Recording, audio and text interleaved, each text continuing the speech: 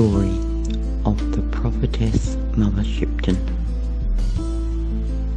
While there are many different views, explanations, rumours and scepticism, we feel it is well worth presenting the historical and well-known legend on the life and prophecies of Mother Shipton. Whether all or any the story are fact or fictionalized, we still feel that the fascinating and historical writings are well worth telling. The story begins with the birth of Ursula Sontio. I hope I pronounced that correctly. The daughter of Agatha, a local girl who was only 15 and unmarried. Agatha refused to divulge the identity of the father, and with no parents to support her, she was shunned and banished from the village.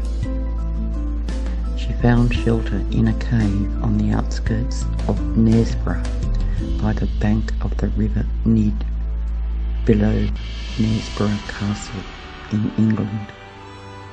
And it was there, one stormy night, in the year of 1488, with thunder, lightning, and gales blowing, that she gave birth to Ursula.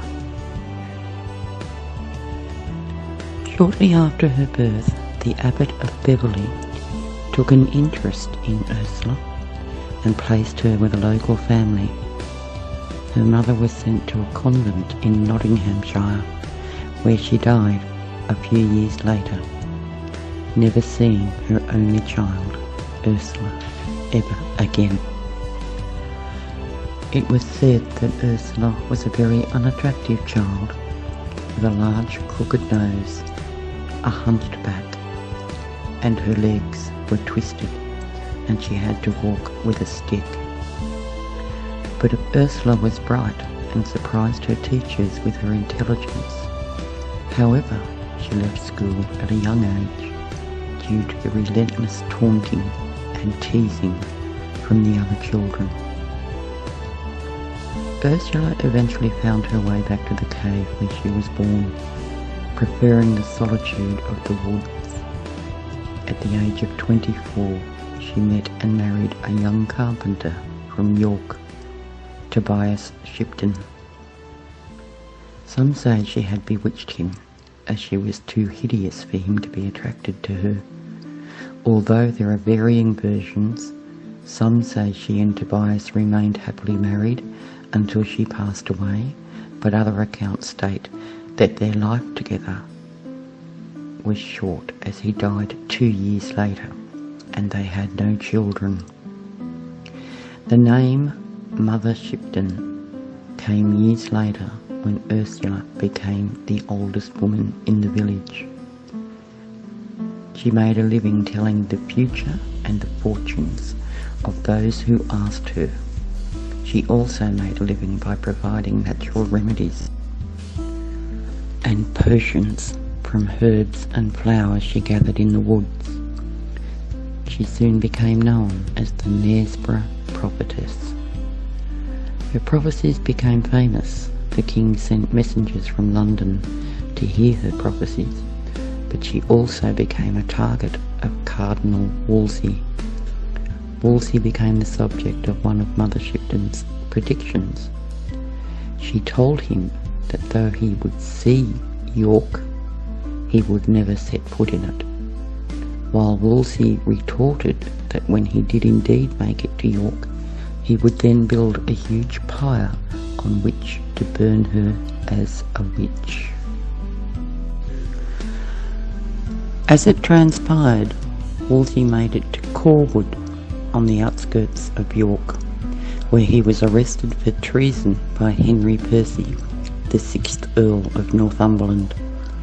As he made his journey back to a trial in London, Wolsey fell ill and died at Leicester on the 29th of November in the year of 1530. So, it seemed that Mother Shipton was correct. Cardinal Wolsey did not make it to York, although he did see it. Among her many predictions, she is believed to have foretold of the Black Death, the Great Fire of London, the defeat of the Spanish Armada, the execution of Charles I, and the end of the world.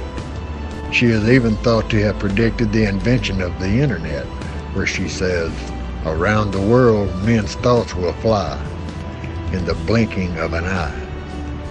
Mother Shipton even foretold of her own death, and on that very hour she did indeed pass away. It was the year of 1561. Mother Shipton's cave still exists today and is a well-known and famous tourist site. And now a word in uncouth rhyme of what shall be in future time. Upside down the world shall be, and gold found at the root of trees. All England's sons shall plough the land, shall oft be seen with book in hand. The poor shall now great wisdom know. Great houses stand in far-flung vale, all covered over with snow and hail. For those in wondrous far-off days, the women shall adopt a craze to dress like men and trousers wear, and then to cut off their locks of hair. They'll ride astride with brazen brow, as witches do on broomsticks now. A carriage without horse will go, disaster filled the world with woe. In London Primrose Hill shall be, in centre hold a bishop's see. Through towering hills proud men shall ride, no horse or ass move by his side. Beneath the water men shall walk, shall ride, shall sleep, shall even talk, and in the air men shall be seen, in white and black and even green. A great man then shall come and go, for prophecy declares it so. In water, iron then shall float, as easy as a wooden boat. Gold shall be seen in stream and stone, in land that is yet unknown. A house of glass shall come to pass in England. But alas, alas, a war will follow with the work, where dwells the pagan and the Turk. These states shall lock in fiercest strife, and seek to take each other's life. When North shall thus divide the South, and eagle build in lion's mouth. Then tax and blood and cruel war shall come to every humble door. Roaring monsters with men atop shall seem to eat the verdant crop, and men shall fly as birds do now, and give away the horse and plough. There'll be a sign for all to see, be sure that it will certain be. Then love shall die, and marriage cease, and nations wane as babes decrease. When pictures seem alive with movements free, when boats like fishes swim beneath the sea, when men like birds shall scour the sky, then half the world, deep drenched in blood, shall die. For those who live the century through in fear and trembling this shall do. Flee to the mountains and the dens, to bog and forest and wild fens. For storms will rage and oceans roar when Gabriel stands on sea and shore And as he blows his wondrous horn, old worlds will die and new be born. A fiery dragon will cross the sky six times before this earth shall die. Mankind will tremble and frightened be for the sixth heralds in this prophecy. For seven days and seven nights, man will watch this frightening sight. The tides will rise beyond their ken to bite away the shores, and then the mountains will begin to roar and earthquakes split the plain to shore. And flooding waters rushing in will flood the lands with such a din that mankind cowers in muddy fen and snarls about his fellow men. He bares his teeth and fights and kills and secretes food in secret hills and ugly in his fear he lies to kill marauders, thieves and spies. And when the dragon's tail is gone, man forgets, smiles, and carries on to apply himself. Too late, too late for mankind has deserved his fate. His masked smile, his false grandeur will serve the gods, their anger stir, and they will send the dragon back to light the sky his tail will crack upon the earth and rend the earth, and man shall flee, king, lord, and serf. But slowly they are routed out to seek diminishing water spout, and men will die of thirst before the oceans rise to mount the shore, and lands will crack and rend anew you think it strange, it will come true. And in some far off distant land, some men, such as a tiny band, will have to leave their solid mount and span the earth, so few to count. Those who survive must begin again to build another human race, but not on land. Already there, but on ocean beds, stark, dry, and bare. Not every soul on earth will die as the dragon's tail goes sweeping by. The dragon's tail would signify a comet.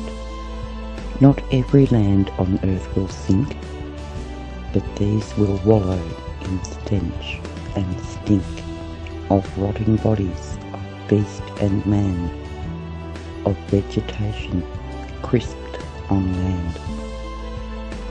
But the land that rises from the sea will be dry and clean and soft and free of mankind's dirt and therefore be the source of man's new dynasty. And those that live will ever fear the dragon's tail for many a year. But time erases memory. You think it's strange, but it will be. And before the race is built anew, a silver serpent comes to view to spew out men of like unknown, to mingle with the earth now grown, cold from its heat, and these men can enlighten the minds of future man to intermingle and show them how to live and love and thus endow the children with the second sight. A natural thing serve they that might grow graceful, humble, and when they do, the golden age will start anew. The dragon's tail is but a sign for mankind's fall and man's decline. And before this prophecy is done, I shall be burned at the stake. At one, my body singed and my soul set free. You think I utter blasphemy. You're wrong. These things have come to me. This prophecy will come to be.